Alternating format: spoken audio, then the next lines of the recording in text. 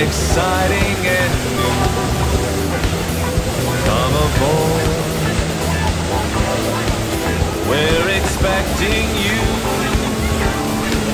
And love. Life's sweetest reward. Let it flow.